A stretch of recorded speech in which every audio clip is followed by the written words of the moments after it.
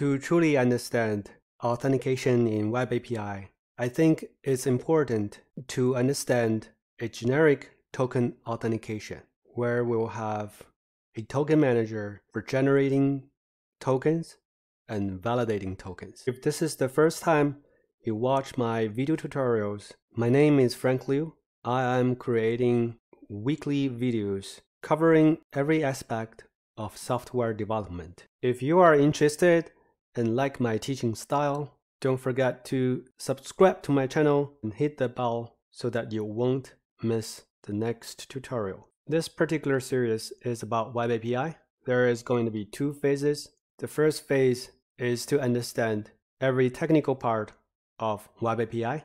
And in the second phase, we are going to create API endpoints and consume them in different type of applications. Let's get started with token authentication. From this diagram, you see that we have a client and web API. The client is consumer of the API, but for authentication, we need the token manager to generate and verify the token. And it works like this. So you're gonna have the client to authenticate against the token manager. And if the authentication is successful, the token manager is gonna generate a token. And this token is usually stored in the data store for verification purpose. So after generating the token, token manager will return the token back to the client. And then for every subsequent web API calls, the client will need to pass the token to the web API. The web API would then verify the token with the token manager. The token manager will return a verification result. If the verification result is a success, web API will return information that is requested by the client. So this diagram simplifies the calling sequence. In fact, the authentication is also goes through web API. So let's actually take a look at the actual sequence diagram. So we have a client, web API, and then token manager. Client authenticate through the web API against the token manager. The token manager will generate a token and return the token if the authentication is successful. And then the token is returned to the client. Then for any subsequent calls, it will call the endpoints with the generated token. The web API will verify the token against the token manager. If the verification is successful, the web API will do its own processing and return the result to the client. Let's actually jump into Visual Studio and create our own custom token authentication. So let's continue with our source code that we have been creating from our previous episode. From the diagram, we know that first of all, we need to create an endpoint on the API for authentication purpose. For that, we're going to right click on the controllers folder. We're going to add another controller, which is for authentication purpose. All right. So we're going to do controller. We're going to create an empty controller and we're going to call it authenticate controller. And then inside here, we are going to have one method and this is going to return action result because it's going to return the token if the authentication is successful. So we're going to say, you know, user it's the username.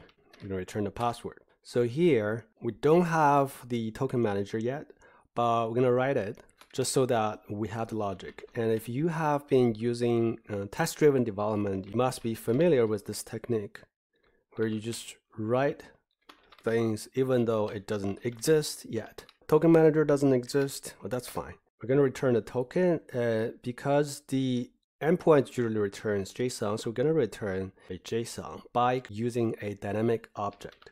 So we're going to have a dynamic object returned. Inside it, it's going to have one field, the token itself. Right, so we're going to use the token manager, which doesn't exist yet. That's fine. So we're going to have one method from the token manager, which is going to create a token. And yeah, so let's keep it like this for now. And then when we implement it, we'll see what the data type that actually returns. And if the, the authentication fails from the token manager, we are going to add error to the model state. Add model error. The key is we're going to say unauthorized. Unauthorized. and then I'm gonna say you are not allowed. Well, let's just use a generic message and say you're not authorized. Avoiding giving too much information is a good practice. So we're gonna return the unauthorized result. All right, so we don't have the token manager, but that's fine. And then we have we have used two episodes. The previous two episodes we talk about the filter pipeline, which is also called the MVC invocation pipeline. If we bring that slide, you can see that once the middleware pipeline finishes, we'll go into the filter pipeline, and the first filter is a authorization filter. Even before the resource filter that we have demonstrated in the previous episode. So if you haven't watched the previous two episodes about the filter pipeline, go ahead and click on the card watch them first because we're going to use authorization filter to do the custom token authentication here. And for that, we are going to inside the filters folder, we are going to add another uh, class and we are going to call it token authentication filter. It's going to be token authentication, authentication filter. And this one is going to derive from attribute. So because we're going to use it uh, as an attribute, we can use it on a controller or a particular action method. The key thing here is to implement the I authorization filter interface. And we're gonna control dot and import the namespace here. After that, we're gonna control dot again to implement the interface. And it has one method that we need to implement, which is the on authorization uh, method. And in here, again, we don't have the token manager, but we need to use a token manager to verify the, the token. So we have the context here, which we can use to pull out the token. And the token should reside inside a header that is called authorization, right? So we're gonna say, uh, I'm gonna use context, and you can see that we have access to HTTP context, and then we can access the request object and inside it, we have headers. And we're going to say contains key. So, and this is going to be the authorization, authorization, making sure we're spelling correctly. So authorization, so if it doesn't contain the authorization filter, then it's going to be, what do we do here? Well, we, we're going to validate the token later, so let's use the result. We're going to say result equals true, but if it doesn't contain the authorization header, we're going to say the result equals false. And then here, we're going to pull out the token from, uh, again, from here, right? So headers, the headers is a, if you hover our mouse over it, the header is a, right? So which, what we can do is, because we know it already has the authorization from here, because otherwise, right? So we're to actually we're gonna actually have token like this uh, string dot empty okay? and then we're gonna say if result is still true then we're gonna assign the token to so we can use first uh, and use first the key has to be you know authorization and then we can take that value out of so now we have the token here and after that let me minimize the solution explorer so that you can see everything. So here we have the token and we need to verify the token. And we don't have the token manager yet, but that's fine. Uh, we're still writing it. So token manager dot, we're gonna call it, uh, have a, it's gonna have a method we're gonna call it token, verify token, we're gonna provide the token. And if this is not successful, then we're gonna say the result is also false, right? And then here, if the result is false, it's going to ignore the rest of the filters. It's going to return right from here and outside. We need it to finish early. So the, uh, the way to do it is first we need to add in error to the model state.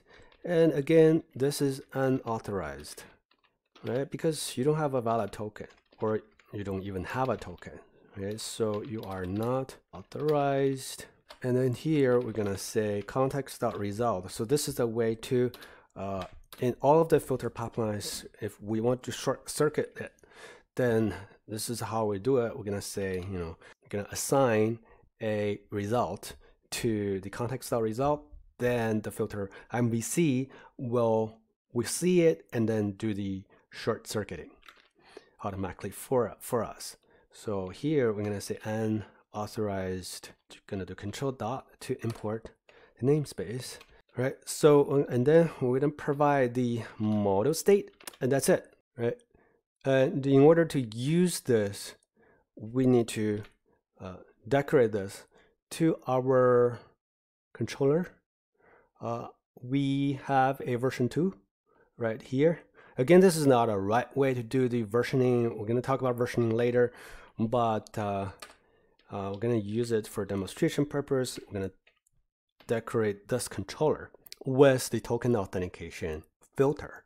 That means every single action method will be subject to authentication.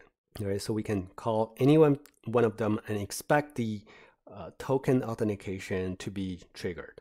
So now that we have the authentication controller where we use the authentication, well, authenticate method to talk to the token manager to actually doing the authentication. And then we also have a token authentication filter that is decorated on our controller uh, to do the authorization for each and every endpoint. Now it's time to implement a token manager.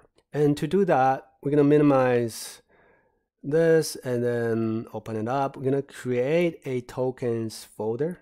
Let's actually call it token authentication, right? And the first thing we need to do is we need to have a token class, right? To contain the token itself, right?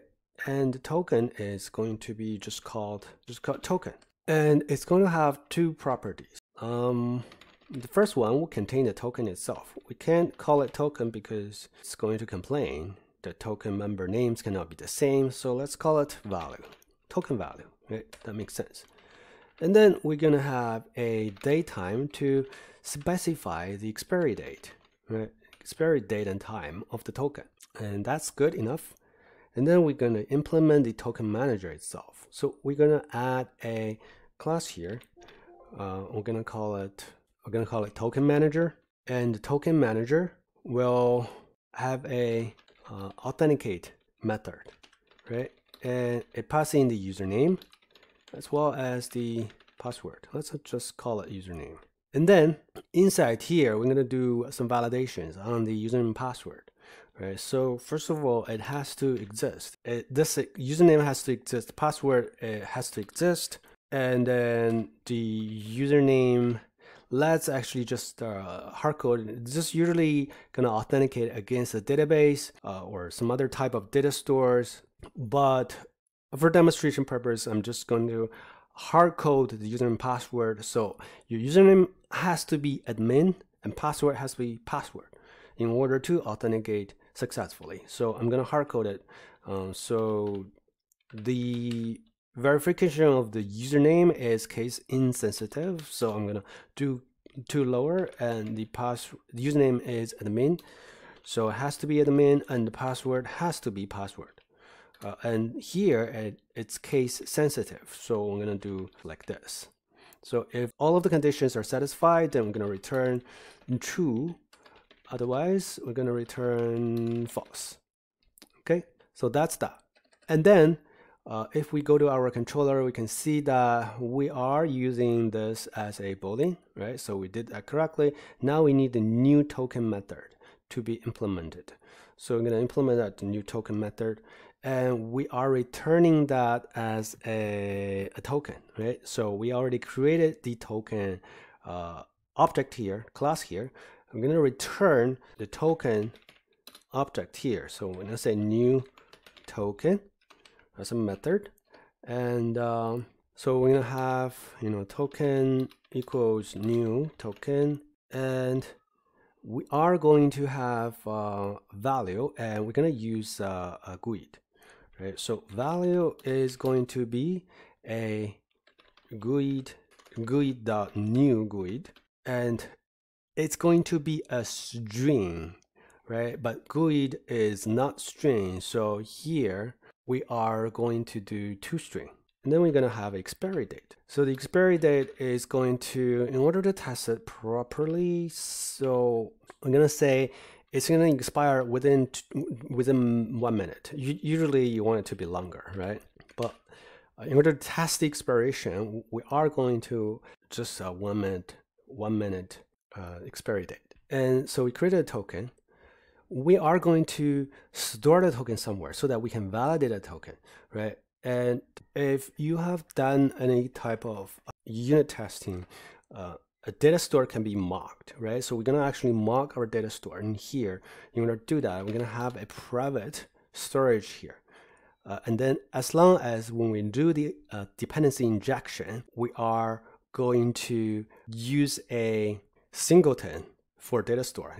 Any type of data store mock has to be registered as a singleton uh, dependency injection. Then if that's the case, then it's going to work exactly like a database. Okay, well, not exactly, but very similar to a database. So we are going to have a list of token, and we're going to call it list tokens right? Uh, and in order to make that work, then we need to have a constructor here. And we're gonna initialize the list tokens, list tokens. All right, so once we created the token, then we're gonna add this new token to tokens, add this new token in. And after that, we're gonna return a newly created token. All right, so that's that. And then another thing we need, which is the uh, verification of the token. Verification of the token is used in the authorization filter, right? Token authentication filter. See, we have a verified token. We need to we need to implement that in the token manager as well. So uh, for that, we're going to create a new method. I'm going to call it verify token, public boolean verify token and I'm going to pass in the, the token as a string and then we are going to use uh, LINQ expressions here to say if tokens contain any of the uh, token so if the value is the same as the token that is passed in and uh, we need to verify uh, the expiry date has to be in the future be greater than now. Then we are returning true. Is a valid token only. First of all, the token exists. Secondly, the expiry date uh, is not there yet. Right? Otherwise, the verification fails. So token manager has to be used uh, through dependency injection. Otherwise, this uh, mock data store will not work right? So we are going to actually, let's uh, right click and then we're gonna choose the quick action, then extract interface, right? And then okay, then the, the interface is automatically created and we have all of these three methods that we need. And let's take a look at the here uh, so token manager, token manager. So we need to dependency inject the token manager here. So for that, we create a constructor and then we're gonna say i token manager, which is the interface that we just extracted. I'm gonna control dot import the namespace. You can see it, uh, it's token authentication namespace imported. And then here we do a control dot again, control dot again to initialize. So we have it already. It's called token manager and we have the name correctly used and the method name is also correct. Authenticate and creating new token. And then let's go to our uh, version. Let's go to our authentication filter. Here we also need to have the token manager dependency injected. And a filter cannot use a regular dependency injection, a regular way of dependency injecting. To, in order to get the token manager, what we need to do here is to actually get it from the context, right? So the context actually has a, and then here we can request the service by calling the get service, and then you need to provide the type of the, the thing that you want to get uh, that is going to be our interface that we just created, just extracted. So here I'm going to control dot and also import the namespace. And after that, this is going to return us a object. So we're going to convert, we're going to cast that to a i token manager and var token manager is this. So if you're not very familiar with dependency injection, I have an hour-long video that covers almost every aspect of uh, dependency injection. You can see it in the card above. So we have the token manager here, and we're gonna call the verification verify token method, and that's about it, right? So next we need to dependency inject token manager, and for that we need to come over here I'm gonna say services dot add singleton, right? So I'm gonna add the token manager actually as a, a data store. So it has to be singleton, right? Because a database is a singleton. And let's give it a try. I think that's it. Let's see whether we can get it to work the first try. So we decorated. All right. All right. So let's access our API right, without and let's see uh, if we get any error or not. The error says unauthorized and the message is you're not authorized. And this is exactly the message that we provided. That means what? That means the authorization filter is working, right? The authorization filter that we put in place here is it's guarding our API, right? It's basically saying, uh, I think it's on this uh, route here that doesn't even exist right here doesn't even contain the authorization filter uh, authorization header. All right. Now we're gonna trigger the authenticate endpoint to see whether we can uh, get authenticated and get the token. So we our authentication endpoint is authenticate authenticate, and if we don't provide the password, it's going to say that you are not authorized. And if we provide the password but wrong password uh, again it's going to say you're not authorized. We provide the password as password but a wrong with a capital p it's saying you're not authorized and we change it to the correct capitalization it's still saying you're not authorized uh, that's the model binding is incorrect here because we go to the authenticate you know our authenticate controller here, it's expecting user and password, right? So the model binding is using the, the name, right? So the name has to match the parameter here. So if you haven't watched my model binding episode, go ahead and click on the card above to take a look at the model binding episode where I talked about model, binding to map the information from HTTP request to the parameters, they're primitive parameters or complex object. Right. So for it to work properly, we need this to be user. And again, we're going to change to password just to make sure. Uh, so this time it says it says you're not authorized right here. And now I need to lower p. It should work. Okay, so I got the token and expire very very soon. It's going to expire very, very soon, so we better use it very quickly. And take this one, and we need to send it, we need to trigger the endpoint with this token inside the authorization header. And for that, let's bring, bring up the postman. And I don't think I have time, I have to request another token. My postman is still loading. And postman loads really, really slowly for whatever reason. All right, so we have our get product right here. We can use this uh, and header will contain the authorization token and the token that we got is this i'm pretty sure it has already expired let's trigger it and it expired we can see the error message is, which is a good test case. All right so let's do that. Call this and then it says you're not ours. Um, i'm gonna require a new token and we got the new token. We're gonna copy it. We can see that expires at uh, 15 57 47 47 so we are going to have this value paste here as the authorization header value. We're going to call the endpoint and it successfully returned the result, right? I don't have a real product to return.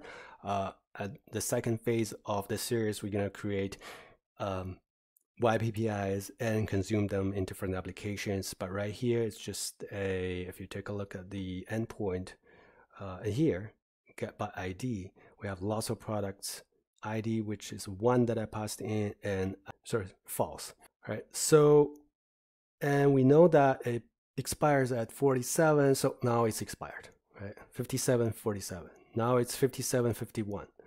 And if we take a look at our return endpoint, yes, it expires at 3 p.m., uh, 57 minutes, 47 seconds. Now it's already 58. So that's expired. If we call it again from Postman, you can see unauthorized uh, result. Unauthorized is you are not authorized, and this is our error message. All right, so this is the demonstration where I created the token manager. I created the token, one second. I created the token manager right over here, right? And it has the three different methods for creating, for authentication, creating the new token. Stores the new token that is created into the data store, a mock data store that we created, uh, and then verifies the token against you see, this is the data store we, we created, and this is the authentication method uh, against a hard-coded username password. We use new token to uh, create a new GUID as a token and stores in the mock data store. And uh, we have a verify token method to verify the existence of the token as well as the expiry date. Right? And then we use the token manager uh, in the authentication controller to do the authentication, as well as in the token authentication filter to uh, verify the token. And we have covered a little bit about dependency injection inside filters. And there are different ways to do it. This is the simplest way that I, I do, uh, but this is not the most elegant way but for demonstration purpose, we're going to use this. I actually personally prefer this approach. Yeah, and then the verification method will actually uh, authenticate against the mock data store. And I have used mock data store in my Blazor course where I built a e-commerce application with clean architecture. So if you want to learn about mocking data stores, creating data stores as plugins, and use case driven clean architecture. And if you're interested in Blazor, then you can take that course. You can see the first two sections of the course by following the card above. This is the end of this episode.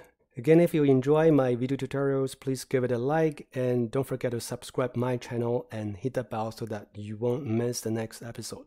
Thank you very much for watching. I'll see you in the next one.